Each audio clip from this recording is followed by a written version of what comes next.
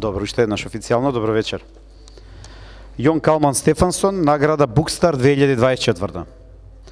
Сеопфатно искуство кое продира најдлабоко во човекот, пружајќи му исконско патување низ природата. Трилогијата Помеѓу рајот и пеколот на Јон Калман Стефансон е доказ за ливскиот квалитет проткаен во прозно дело, односно умешноста на авторот да спои идиолект поет со приказна зачната од прозаист. Во помеѓурајот и пекалот, Стефансон ги спојува метафизичките размисли со поетски вдахновените слики, создавајќи наратив гледало на величенствените пейзажи на Исланд, навлегувајќи во екзистенцијални теми. Солзите на ангелите ја продолжува оваа синтеза, користејќи поетски јазик за да евоцира суровата реалност на животот, мешајќи ја интроспективната лабочина на епската нарација – Срцето на човекот дополнително го акцентира спојот на испреплетени лични приказни со филозофски размислувања, истражувајќи ја човековата поврзаност и природата на постоењето. Секој од трите романи го заробува читателот во свет на замаглени жанровски граници, нудејќи динамично книжевно патување. Ваквата постапка ја подобрува емоционалната резонанца на наративот, покажувајќи како лирскиот белек кај авторот се истакнува во прозните достигнувања. Ова докажува дека Стефансон мајсторски го има сработено мета, метаморфозниот елемент на текстот, зашто и побудува низа емоции ке читателите. Сликовитиот приказ на немилосрдната исландска природа, авторот го вовлекува до најдлобокото од човекот, очајот за да ја прослави спасителната моќ на пријателството.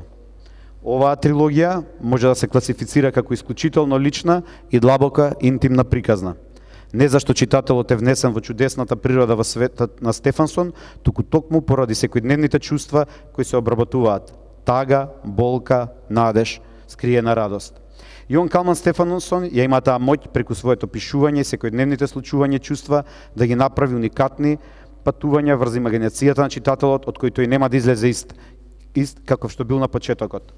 Неговото творештво е преградка меѓу поезијата и прозата, од што се буди ново битие во срцето на читателот. Затоа, имајќи предвид дека оваа година метаморфозата е инспирација на нашиот фестивал, одлучивме годинашен лауреат на наградата Букстар да биде токму Јон Калман Стефансон за неговата трилогија Помеѓу рајот и пеколот. Му честитаме.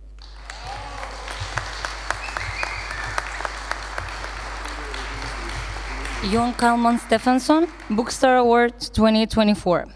A comprehensive experience that penetrates most deeply into the human being, providing him with primordial journey throughout nature. The trilogy Heaven and Hell by Jon Kalman Stefansson is a proof of the lyrical quality woven into a prose work, expressly the, the author's writing skill to combine the idiolect of a poet with a story conceived by a fictional writer.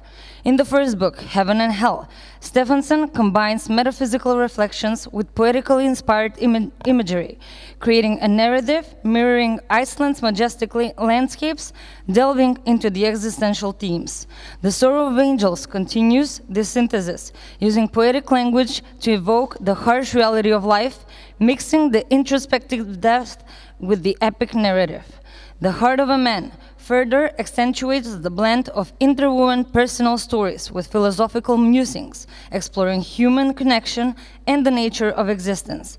Each of these novel, novels traps the reader into a world of blurred genre boundaries, offering a dynamic literary journey. This procedure enhances the most emotional resonance of the narrative, showing how the lyrical mark of the author stands out in his prose achievements. This proves that Stefansson has masterfully worked out the metaphorical events of the text, which arouses a series of emotions in the readers.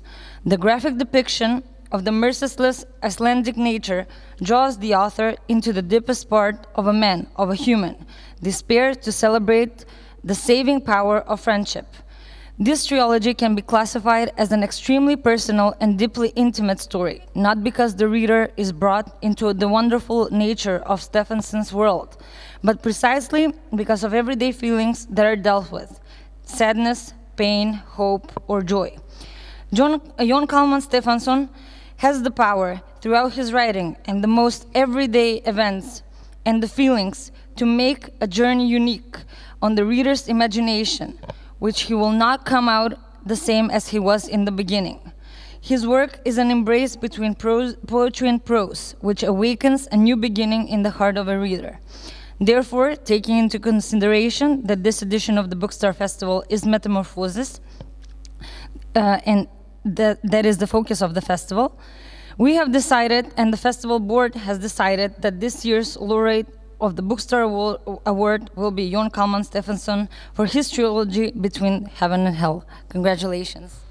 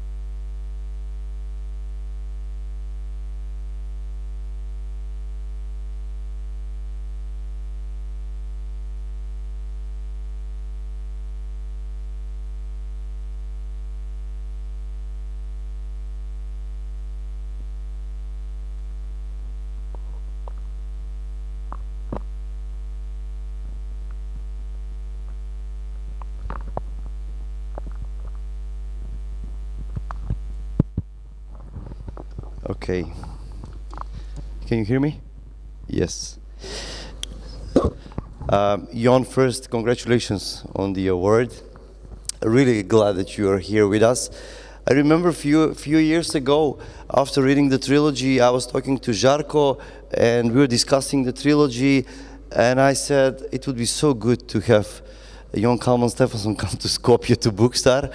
And Žarko said, we'll see, we'll work on that, we'll give our best. And a few years later, here you are. For me personally, being a huge fan of this trilogy and of your work, it's a real honor and pleasure to have you here uh, with us at Bookstar. Um, so uh, the title, the title of this event is "Where Do Poetry and Prose Embrace?" And personally, I mainly talk about fiction. But tonight we have Nikola Madjirov, one of the best. Uh, poets in Macedonia, Europe, and I can continue. I would say he's a world world poet, in my opinion. And uh, so you will be kind of caught in the crossfire of fiction kind of questions, literary fiction, and poetry questions, and let's see where do we go from here. I'm, I'm really excited about this conversation. And I would like to start, I would like to start this conversation a little bit with a broader theme. And um, Icelandic literature is a phenomenon in itself, in my opinion. Like we discussed a little bit also, Icelandic music is a phenomenon for such a small nation to produce such a good quality and quantity also. And I know that we discussed with Yrsa Sigurdardottir and Sjón, and we was like, what is the secret? Why, why? Because of the sagas, it's embedded. Reading and books are embedded into Icelandic culture, and you have a, you have there is a little scene in one of these books. I think it's in the the, the uh, Sorrow of Angels, when this, in this faraway, forgotten village, there is this lady who says to the boy, "Just here's money. Give me, buy me a book, a single book." And there is a there is a moment when he says, "I think he will leave some money," and says to a very poor family, "Buy a few few uh, pages of just paper for the kids." To, to draw and write. So it's embedded in Icelandic culture. But I'm thinking, how, does, how but Iceland is it's very present in this trilogy. And Icelandic nature and wilderness and, and being harsh and being extremely beautiful. So how does Iceland as a land, as nature, as landscape, you think influences Icelandic writing and makes it unique but also it influenced your writing in the trilogy. Hello, hello. Do you hear me? Yeah. Uh, very nice to be here in, in Skopje, and, and I'm proud for this wonderful star. Uh, I'm always, you know, I, I wanted to be a, well, I, one of the person who, who influenced me uh, heavily when I was young was Carl Sagan.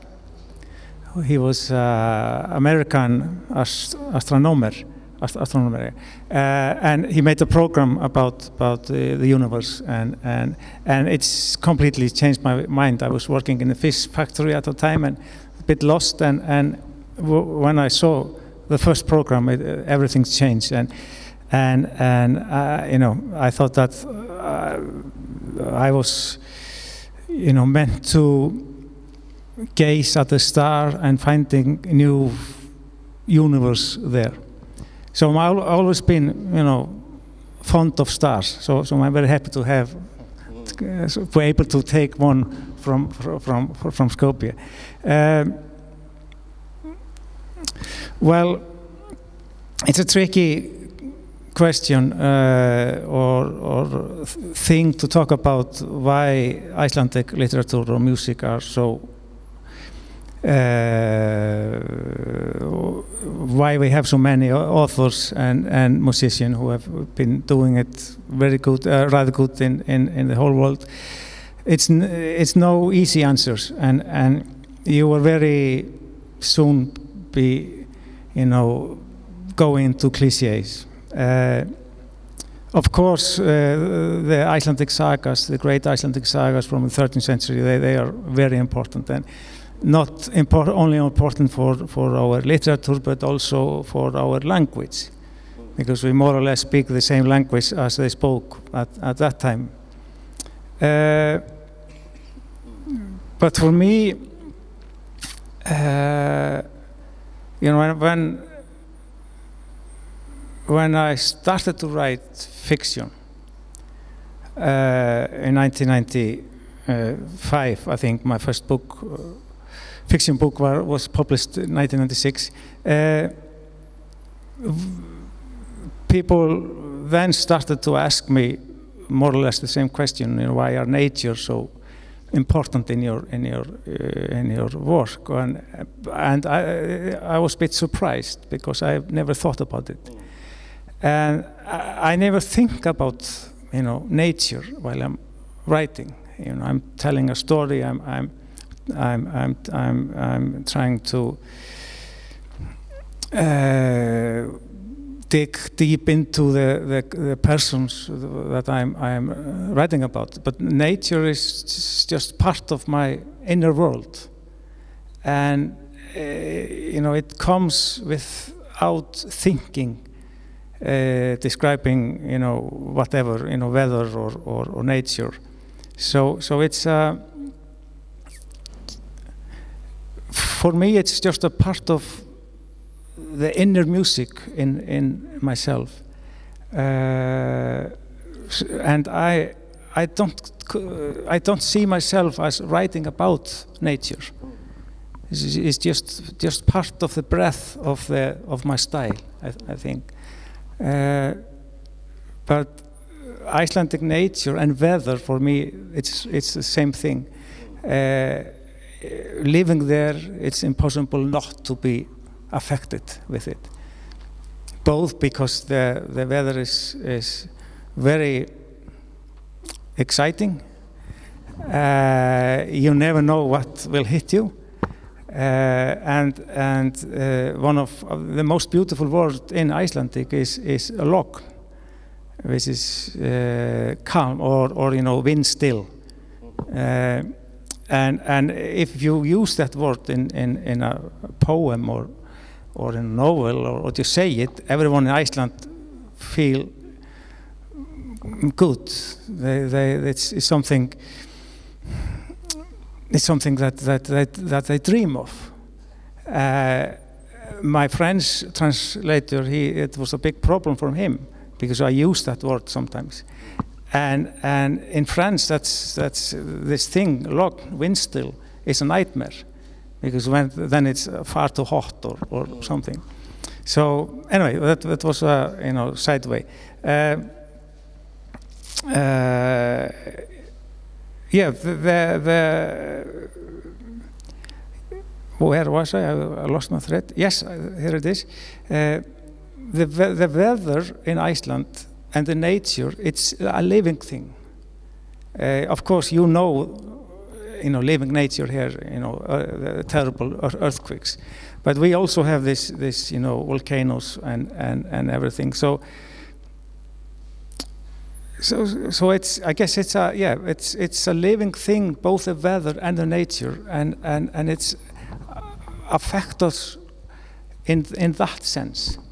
Uh, and for me it becomes part of, of my style and, and my and my language. Uh, but I, as I said, I'm I'm I'm always Yeah. surprised when I'm asked about it. So it's, it's, it's almost inevitable to being Icelander and writing nature is all present, is there, and you're not conscious of it. Thank you very much. Yeah, and also when, when you're an Icelander, you're al always asked about you know the, the weather and the nature, and and and when the our football team was uh, going doing great things, you were always asked about football, and when there is a volcano uh, in in Iceland, everybody asks you about that. And when the bank crisis were, everybody was asking about that. So you are forced as a writer to be an expert in everything. Thank you. Do you do you think literature is exactly like planting a tree in a in a volcano? Um, um, s- because your, as you said, your landscapes in your in your novels, they're in a way invisible for for you because they're so organic. They are part of of of the inner silence, to say, um, and yet what we see in the music of or that we mentioned Sigur Rós or Jóhann Jóhannsson and or in uh, Jonsi, we see these soundscapes that in fact uh, just extend the landscapes that we know from nature or from the movies of Dagur Kari or other uh, great uh, writers and, and, and, and artists. Um, you said in one interview that when they, you were asked again about nature, you said, I'm just a shepherd. Pessoa also used to say that he wants, he was just a, a shepherd. It's not his intention to be a poet. And a part of this planting the tree in a volcano, another question arises. If you're the shepherd, what the words of your lost or your lost memories are then? What What are the words that you are using? As you say, you use words to in one interview to make music. Or your memories, how do you find them if you are the shepherd? How do you look at them? Uh, well, many things uh, pops up to my mind when, while you were talking, uh, uh, and and I, I was picturing that you know planting tree in the in the uh, lava, uh, because we have near Reykjavik we, we have been have uh, you know ongoing small er- eruption for, for almost two years with you know it's comes and, and stays for some weeks and then it's quiet down and come again. Uh, and it's very difficult to plant tree in a, in a lava. Either it will burn down or it will just die. So it's impossible to plant tree in lava, s- just so you know, so don't try it uh, if you come to Iceland. Uh, moss is, is, is the very thing in, in lava. And, and moss is the, one of the most beautiful thing you can ever see because it's very soft, you can sleep on it, and it's changed color every time. And that's one of the thing in Iceland that the light is never the same because it's ever changing, both the light in the air and the light on, on the ground. And that, that's also music, you know. Uh, uh, where the words come from, uh, one of the things that, that surprised me when I started to write uh, fiction is that I don't control over what I'm writing. Uh, I sometimes say that I have never written a book that I was going to write. And I'm a, I, I fear that day when, uh, when I will be able to write the book that I'm going to write, because I'm sure that will be very bad book. Uh, because for me, writing is discovering new world.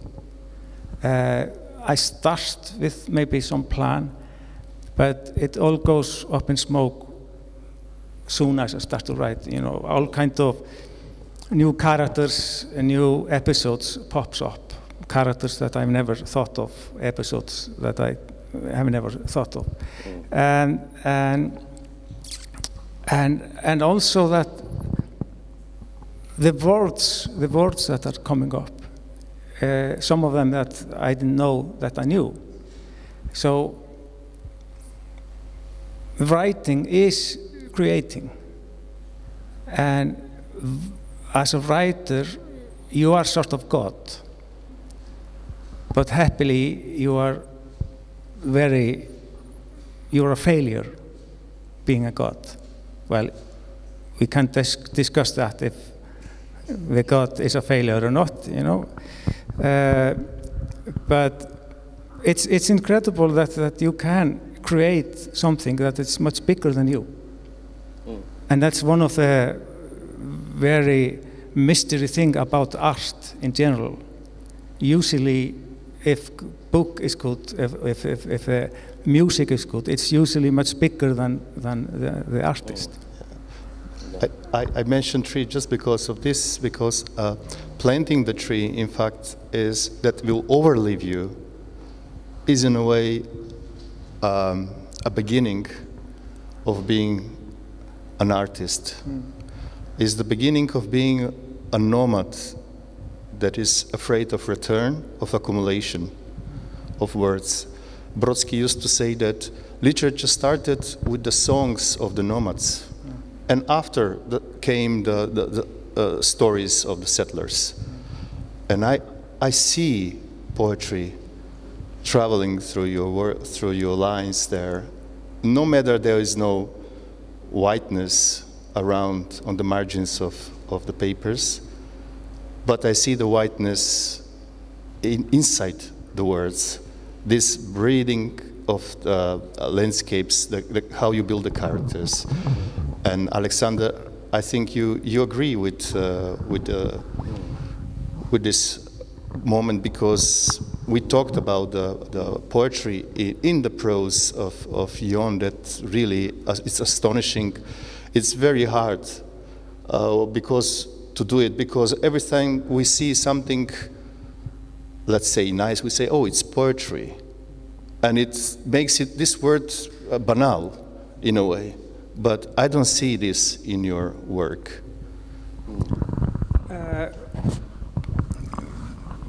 Basically, it's because that, that the only, that's the only way I can write. Uh, I, I, when I started to write fiction, I, I tried to write.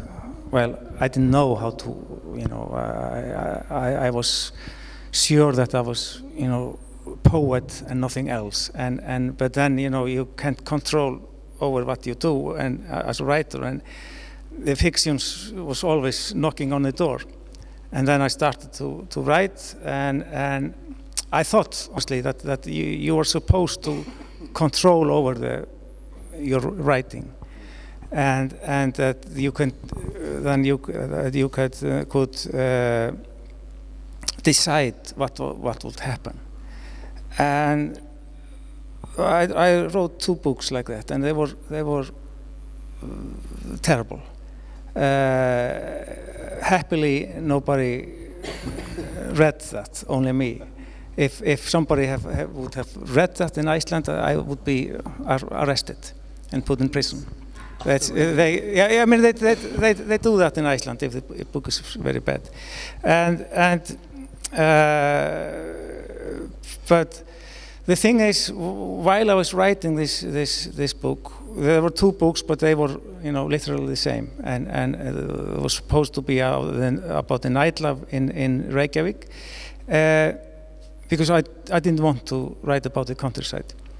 Uh, but then, in the middle of, of, of, of, the novel, the main character uh, took a taxi in the center of Reykjavik and, and asked him to drive into the countryside.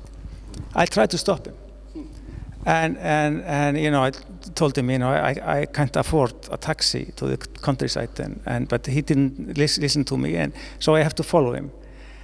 And the strange thing happened when I was describing the traveling into the driving uh, through the light of the city and into the darkness of the nature. Uh, suddenly, it was so much more easier to write. You know, it, suddenly, it, it, before it was a more staccato. Now it was a flow, and and so slowly I realized that I shouldn't try to decide what to write or how to write. It's just like you know, you're sitting down with your instrument and and you have something in your mind, in your body, in your dreams that you are not sure what is. So you just start. And then pops up all kinds of character who, who, who demands that their story will be told. But I, I, I, uh, I wanted also to write different kinds of novels. I wanted to expand the form of the novel. And I think that blending, blending poetry and prose together is, is one way of doing it. But again, it's not something that I think about. You know, that's the only way I can write. I, you know, I don't think, you know, now I'll read poetic sentence. It's, it's just, it's just in my breath. Thank you. Um, in one interview, you say that you want your poetry to to impact people, to influence people. So, what what was? I'm just curious about about this trilogy. What was the? I am I am repeat the same question, but what was the central idea, the main drive? What? How did you want this trilogy to to impact people? If that's not a cliche of a word, what did you want them to to get? What kind of emotion or thinking from reading this trilogy? Did you have something like that? Yeah, mostly that, that they will come to Iceland and spend a lot of money. so helping the tourist yeah, industry you know, of because Iceland. our, our, our economy was going very badly, so, so I had this idea. Now, uh, you know, firstly, uh, I wasn't r- writing trilogy when I started the, the Heaven and Hell. Mm. It was supposed to be a one book. Uh, but then, when I was, you know, in you know, over the half of the book, then I realized it was too much ma- material for one book. Mm. So, book two ar- ar- arrived. Uh, and then, when I was in the middle of that book, I realized that it was too much material for two books. so, number three came. Uh, I, when I was in the middle of that book, I was terrified that uh, it would be four books, but but uh, that that didn't happen. So there was no planning, and yes, I want I want to change the world with my writing. That has always been my dream or purpose since I started as a poet. Uh, and I want to that my writing will affect the people that will, if not change something uh, inside them, then uh, then affect them in some way or other. Touch the the the, scar inside them, or the, the, the heart, or or or make them dream, make their dreams bigger, uh, make them see the world maybe slightly differently while they're reading, etc. Uh, but I never think of, of you know, that uh, because I'm writing about this and this, then it's more, more, more likely that I will achieve. Uh, strictly, for me, it doesn't matter what you're writing about. Uh, it's more how you write it. Uh, and You said that the one book you said it doesn't matter what your book uh, is about, but what your book is. What is the book? Yeah, I mean, uh, of course, uh, it matters, you know, good stories, funny stories, uh, sad stories, great characters, etc. All that matters, but but you can you can tell have a great story about you know huge huge thing, and you can tell in, in that way that nobody cares. But then you can tell a story, you know, which take place in a, in a uh, re- remote place in the world, and i i the, what you write about, what they are thinking, doesn't affect anyone. Something very small and unimportant. But if you write in, in, such, in, in such and such a way, then perhaps you can change the world. Well, Darwish used to say that writing poetry, maybe you don't change the world, but at least you relocate the candles in the darkness. So, uh, the main protagonist of the trilogy, Heaven and Hell, and also the three books, Sorrow, The Sorrow of Angels, and The Heart of Man, is the boy with no name. It's interesting because the other characters are named, most of them. So does naming kill the mystery of presence? Because you know, in, when invaders invaders come, they usually change the name of uh, cities, rivers. Sometimes even they they erase or break the carved names on on the gravestones. And um, so without, I was thinking that without name, one cannot be imprisoned by the banality of evil or, or but society.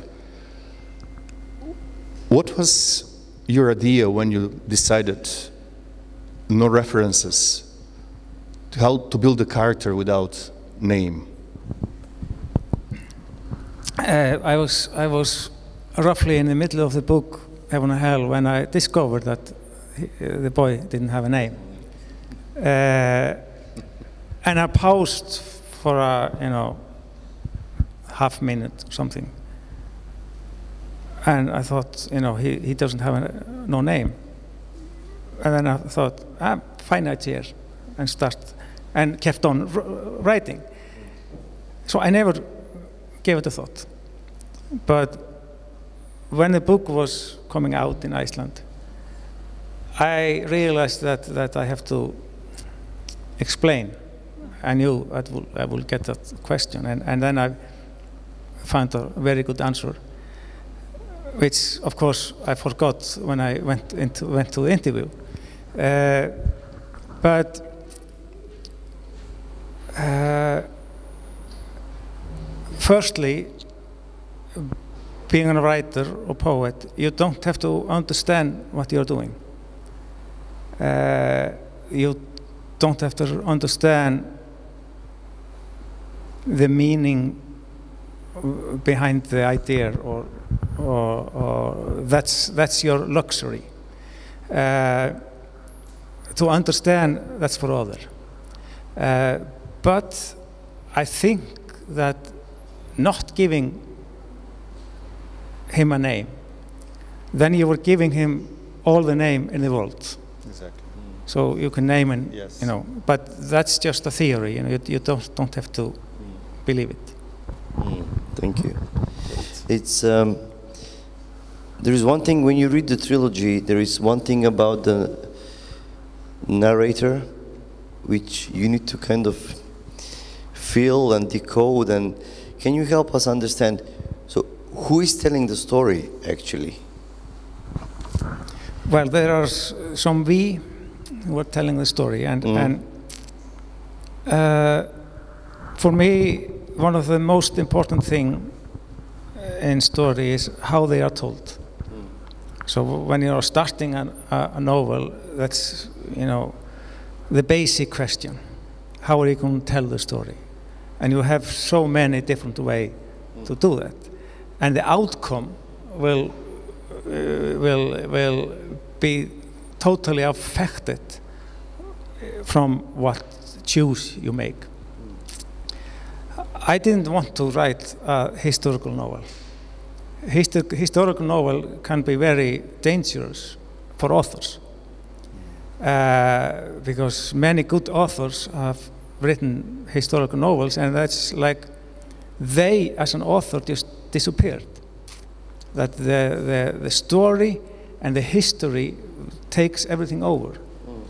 And therefore, many many uh, historical novels are, for me, too traditional. And, and I, I hesitate before I, I started to, to write Heaven and Hell, and uh, because you know I wanted to have, I wanted to overstep the, the, the historical novel, and I think it helped me when I when I read uh, Baltasar and, and Blímunda by Jose Saramago, the great uh, Portuguese uh, writer who was also a poet in style. Uh, then I, I, maybe he helped me to realize that, that you can, just as with all the novels, in historical novel you can do whatever. And, and, and, and I also wanted to write a novel here and now, which, you know, that our time uh, would breathe through every pages. Uh, but I also wanted to catch the atmosphere of, of, of the time where th things are happening, you know, just before 19, 1900. Uh, so I needed, you know, a storyteller who, who, who knew both our time and, and, and the, the, the old time and the past.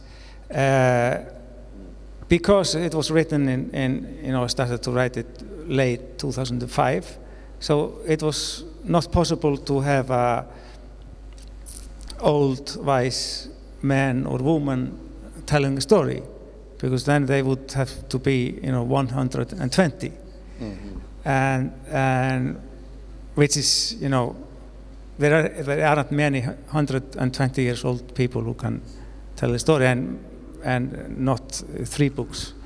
Uh, but then I, when I was fumbling with it, trying, trying to find my way, suddenly I just wrote the settings. We are almost darkness. Mm. And, and I, you know, uh, then I, you know, I start to think, we, who are they? Mm. And then I realize, or come to that, uh, came to that uh, uh conclusion that those who are telling the story are people who lived in that time uh, and they are still among us but they it's, it's a, they are ghosts but they cling to life because there was something in they did something in their life or perhaps did not that uh, banned them or won't allow them to be free from our life or our earth or our existence. They are want, there's something that are holding them, so they can't go into the darkness and, and be free there or, or into the other world. So I was thankful for them to being there for me and telling all those stories. Uh, but feeling guilty that, that I was holding them. So partly, I wrote those books, I wrote those stories in that hope that I would be able to write them that good and, and, and, and telling that in that powerful way that it would, would uh, re, re, release them. Wow, and you have done it in a very powerful way in the trilogy. Yeah, but you know, I didn't know that uh, that I don't decide if they will become free.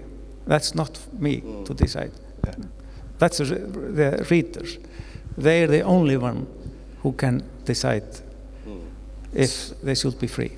So that's why I will not use the word use when you write. So I will not ask you, did you use the snow as a metaphor of the storyteller in between times. No, I'm. I'm. Uh, so, you know, did you find the snow? Because I will read one uh, wonderful um, uh, the opening of Heaven and Hell. The world white with snow, although not purely white, here it is never purely white, no matter how much snow falls.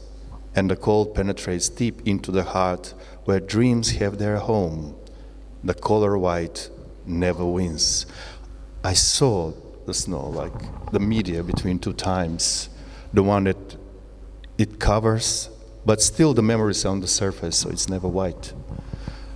And the presence, the footsteps of your characters.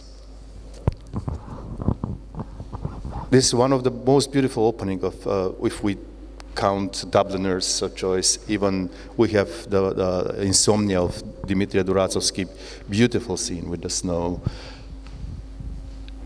how do you find this whiteness, as we mentioned before? Um, you say it is not good, the color white never wins, but it's not good for literature if the whiteness of the page doesn't win. Well, uh, uh, I. I never use uh, metaphors or, or images uh, as, you know, as a symbol. Uh, as you referred to earlier, that, that, that I'm, I'm a shepherd. Mm. So I'm, I'm, I'm, I'm, I'm, I'm a very simple soul. uh, so I don't write to make symbols, I, I just write to create life. Hmm. And, and I can't help it writing about nature in, in that way as, as you see it. But for me, the, one of the most important things uh, for me as, as a writer is to because I, you know, in other books that I have written, I've, uh, some of them take place in, in our time, but almost all, in all of them I, I tend to go back in time. Uh, and I think it's because that I'm fighting against uh, for forgetfulness, uh, because that's the, the biggest enemy that I can think of because we, we die two times. First, when our body dies and we are putting in the, in the ground. The second death is much more uh, it's much more darker. That's when nobody re reminds you anymore. And I, I partly write to, to to you know, go back in, in time and find people there and telling them the story so they will be remembered. Uh, so I am constantly fighting against death and uh, everything that, that, that he brings with him. Uh, and to be able to do that, I use every tool that I can think of so for me, writing is, it is matter of life and death, you know. Uh, I try to put everything that I possible have inside me mm. in the book. So I try to, you know, use the style or uh, the structure and, and the language and, and everything. Mm. And, and uh, but at the same time, I I write because that's the only thing I can do. Mm. Uh, I mean, I would, you know, in a way, I would suffocate if, if I, because I breathe through my mm. writing. I mean, I have a wonderful life, and and and I have, you know, I I, I love my my wife. Uh, I think she is the most beautiful person on earth. I, I, love my kids and my cat and my dog who sadly passed away and, and I'm started to write about him, so he will be re- re- re- remembered. And, but uh, it's a great thing to be able to write. And it, it's often fun. But of course, sometimes it's uh, fucking hard. Mm. And it's, uh, you know, you're full of doubt about yourself, and, and, and you're sure that it is far worst thing that, uh, that nobody has, has written. And that's very important. Mm. If I would, you know, wake up and start to write, and I w- wouldn't doubt about myself, I would stop to write Mm. and uh, re- return to being a shepherd. Thank you for this answer. And the thing is, my, literally, my next question was um, how can poetry or prose help us with fear of death? But because this was such a great answer, I would like to leave it there and go back to Nikola. And that was that was my last like serious, serious, like deep question. My next one will be more fun and more light. So he left the death for me, okay? to deal with uh, It's a heavy burden. heavy burden. and, and, Yeah. and you take your, your glasses off, so we Yeah, know yeah, it's so a very not to see the death to be uh, far from us. But anyway, in, in your in your uh, book, your absence is darkness. Yeah, death appears there, and in a way, at the end of the book, you included the playlist of the death itself. Death as a listener of music. Usually we, uh, we imagine death silent when it comes, and we are the ones that shout. But how comes death to be a listener of music? Well, it, it, it strictly it The wasn't. voice of the death. Yeah, strictly it wasn't my idea. It was one of the character of the book who, who, who, said it to me, and, and I wrote it down after him that that that death is the most lonely person, if, if you could call it a person, on earth, because uh, he loves life. He's longing for. He, he wants to embrace life. But every time he touches life, it dies. So there his loneliness and sorrow comes from.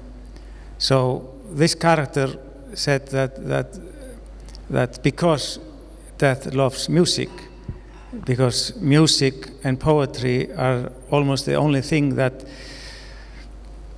no boundary stops. Uh, that's the only thing that that uh, the people who have died uh, know of.